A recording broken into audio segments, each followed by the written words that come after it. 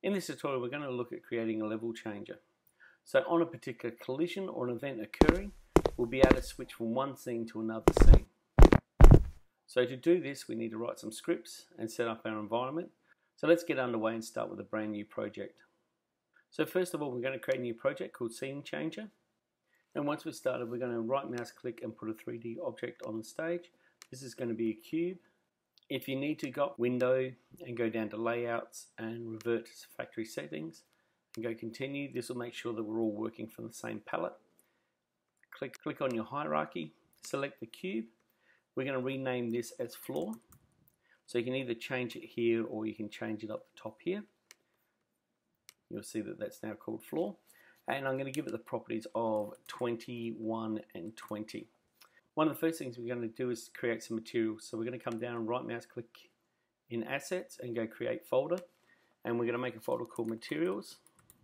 And we're just going to create a couple of simple materials inside this folder. So we're going to right mouse click and go create material. And the first one's going to be called floor. So this is going to color the floor. So I'm just selecting that. I'm coming up to the color selector. I'm going to make it green but it's going to be a fairly light sort of green. I'm just going to drag and drop that on the floor one here, I'm going to create two more. So I want to create another material, which is just going to be something like a blue. So we'll give a name blue. And we'll select blue, go up and select a blue color. And also I'm going to create another one called red. So create material red. And the same thing, just select a red color. Once I've got my floor, I need to add like a doorway. So I'm just going to go create a 3D object. Once again, it's going to be a cube, could be anything. I'm just going to move it up. And then I'm going to make it look like a door by just making it wider, making it taller. You can see it's stretching sort of below the floor. So I'm going to go to movement again, move it back on the X plane and move it up again. I'm also going to apply the blue color to the material to that. Then what I'd like to do is change cube I'm just going to call this door. Now what I'd like to do is add the first person controller to this project. So I'm going to go into assets, import package, characters, and then I'm just going to import everything.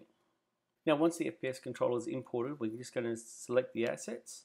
We're going to go into characters, we're going to go into first person characters, in the prefabs, and we're going to drag up the FPS controller and just drop it underneath the directional light. So the FPS controller is at the top of our scene.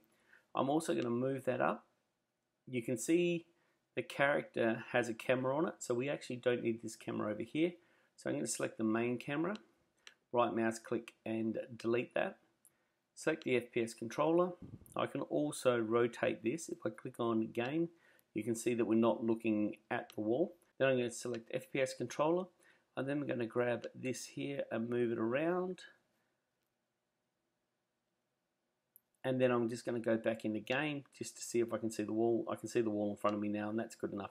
If I wanted to, I could turn directly around so I'm facing the wall and move myself back so I can see more of the wall. And when I hit game, you can actually see the wall now. So let's go with that at the moment.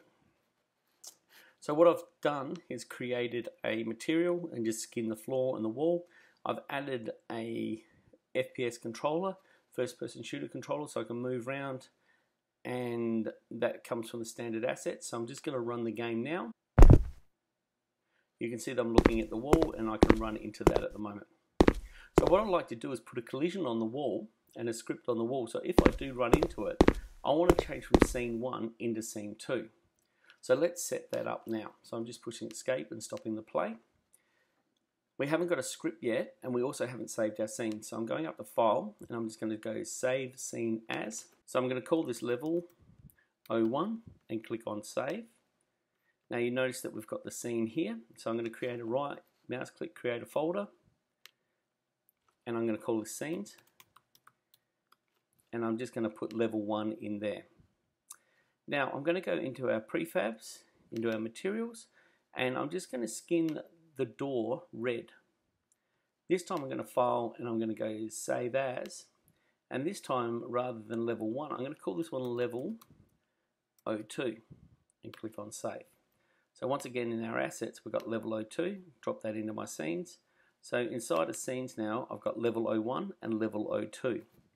So now I'll be able to call those. We also need to add our levels to the build. So we go into build settings.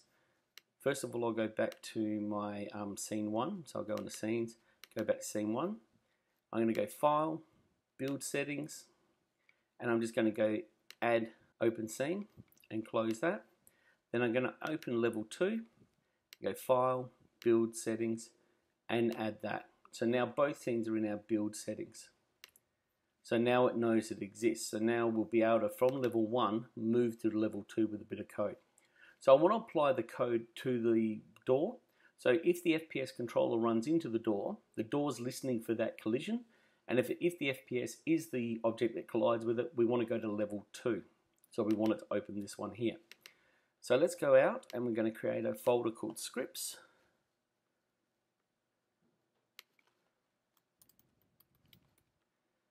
And inside scripts, we're going to create a script called Blue Door. So we know it's for the blue door. Now this blue door script is going to be associated with this object here. So I'm just selecting the door. I'm going to drag that across and drop it off here so you can see it's associated. And then I'm going to double click it to open it up in Mono Developer or whatever editing software that you're using. Once we're in here, we need to actually add a new line. So we're going to be using, we're still going to be using the Unity engine, but in particular, we're going to be using the scene manager or the scene management. So we want to add that to the list of imports at the top. Now, once we've done that, we want to create a new function which is going to be listening for that collision. So we're going to create a void and then we're going to use an on collision enter and we're looking for a collision so we're listening for that collision, and if we do have an, a collision with something, we want to store the information of the game object. So we want the game object information. So this is a variable that we're creating. And then once we've done that, we want to open and close the braces. So if we do have a collision, store the information of that collision in the game object information variable. From here, what we want to do is check to see what we've run into. So we're going to use an if statement. And we're going to say, well, if the game object information, and we're looking for the game object, and we're looking for its name. And if that's equal to the FPS controller, I'm just going to paste that in there. So if the collision occurs with the FPS controller, I'll want it to do something. So I'm just going to put a open brace and a closed brace down here. As you can see, it's adjusted my braces. And what I want to do is do a debug.log. This will write in the console window. What I mean by the console window is the console's here and I'll send a message into this little area here. And what I want it to tell me is the collision detected. So we know that we're inside the if statement. Now once we've got that collect or that collision, we then want to look at the scene manager And what we want to do with the scene manager is load scene.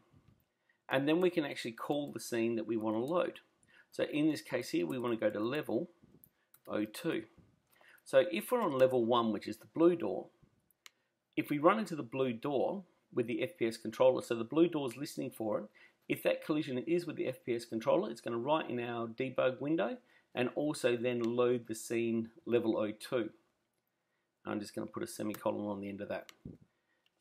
Now I'm going to save this and head back to our main stage and run our program. So when I run into the door,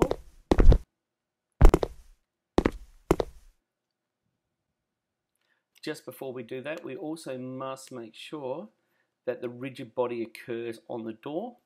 If we don't have a rigid body on the door, so just type in RIG, you'll get rigid body. This gives the door mass, and then it will pick up the collision with the FPS controller. The FPS controller also has a rigid body, so when those two collide, the game is then able to hear it.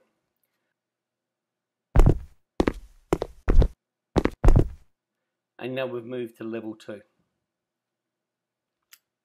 Now when I run into this door nothing will happen because there's no code on there. Also we need to apply the rigid body. You can see in our console window down the bottom the collision has been detected. Just make sure your FPS controller is above the ground. The gravity will make it fall and hit the ground, but the bottom of it needs to be there to pick up the collision when you run in. So let's head to scene 2 now. We'll save scene 1.